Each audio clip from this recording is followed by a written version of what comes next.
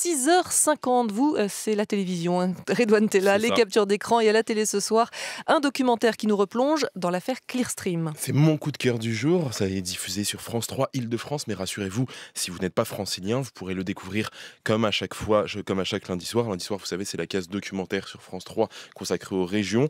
Et bah, comme, comme chaque lundi, vous pourrez le découvrir dès demain en replay euh, partout en France sur le site de France Télévisions. Près de 20 ans après les premières euh, révélations du journaliste Denis Robert, voici un film qui ne s'intéresse ni au fonctionnement de Clearstream, vous savez, c'est la fameuse banque des banques, ni au scandale politico-judiciaire qui découle de cette enquête et qui a rythmé les années 2000. Non, ici, on ne s'intéresse qu'à l'impact qu'a cette affaire sur la vie de Denis Robert et sur celle de ses proches. Et qui de mieux que Nina Robert, la fille du journaliste, pour réaliser ce film? On l'écoute d'ailleurs, elle qui assure aussi la voix off du documentaire. J'ai 30 ans aujourd'hui. 30 ans, c'est l'âge que tu avais quand je suis née.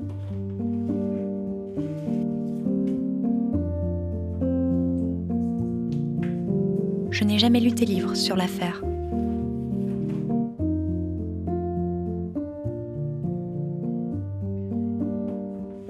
Claire Stream, c'est un grand flot, avec de la douleur et des flashs très précis. Mes repères, ce n'était pas ton enquête et tes procès, c'était nous. Pour moi, Clearstream n'a jamais vraiment été une banque. Ça a toujours été une espèce de personnage maléfique sans visage, une bête perfide monstrueuse, fidèle comme une ombre le fameux monstre Clearstream pour la petite fille Nina Robert qu'elle a été. Dans ce documentaire, on voit à quel point les multiples plaintes en diffamation de Clearstream ont fragilisé la famille, cette famille qui vivait avec la peur au ventre, sous la pression des huissiers qui sonnaient régulièrement à leur porte. À l'époque du scandale, on était tellement obnubilés, nous tous, par l'importance des révélations, qu'on n'a sans doute pas assez mesuré à quel point Denis Robert et sa famille avaient été dans l'œil du cyclone, étranglés par la lourdeur de ces nombreuses procédures judiciaires.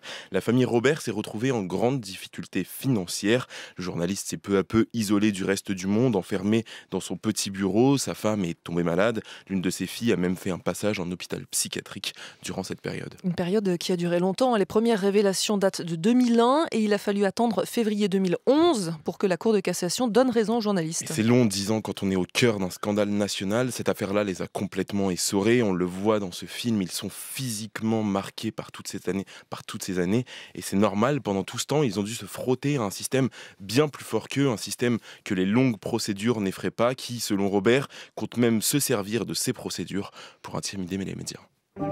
Claire Stream, en s'acharnant aussi longtemps sur mon père, ne sort pas totalement perdante. Elle est parvenue à instaurer la peur en renvoyant un message clair aux journalistes et aux lanceurs d'alerte. N'essayez pas de jouer au Denis Robert, car nous vous le ferons payer. Nous avons les moyens de vous démolir. Alors passez votre chemin.